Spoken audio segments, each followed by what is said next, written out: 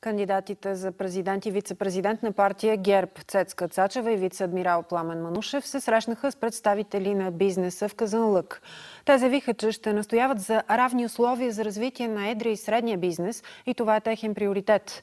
По-късно Цачева и Манушев участваха в церемония по откриване на реконструирано междублоково пространство в града.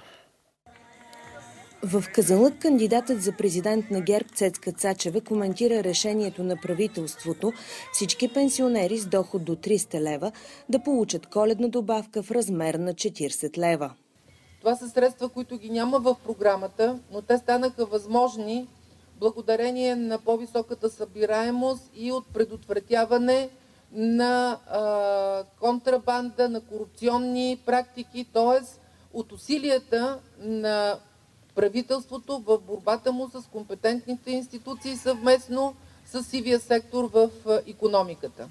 Според вице-адмирал Манушев, успешният път е в развитието на бизнеса, стабилните доходи и привличането на инвестиции.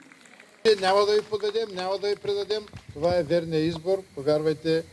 Кандидат президентската двойка на ГЕРБ е с номер 17 в бюлетината.